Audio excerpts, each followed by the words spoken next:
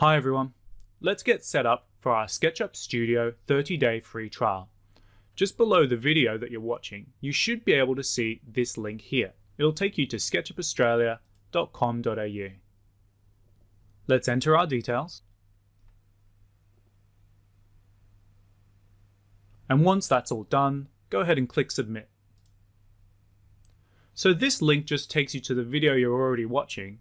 And so, step one is to create your Trimble ID account. Go ahead and click on this button, enter your email address,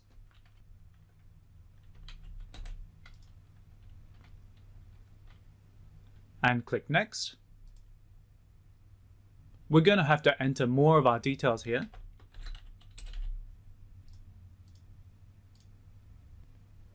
And also choose a new password.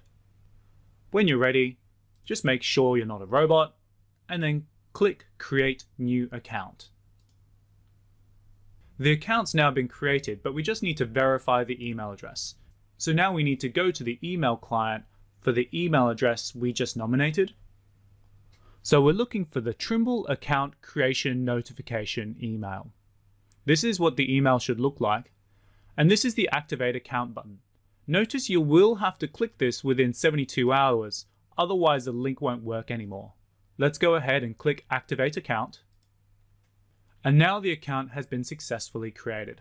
Let's go back to the SketchUp 30 day trial page, and we're now up to step 3. We need to sign in to the Trimble Account Management Portal. So go ahead and click this button. Hopefully your credentials have been saved, but if not, just go ahead and enter them again and click Next when ready. Of course, we'll have to enter our password and then click sign in.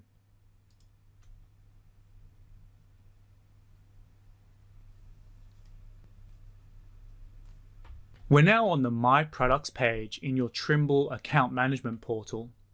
For instructions on how to install SketchUp, go ahead and click instructions for a Mac on the left or for a PC on the right.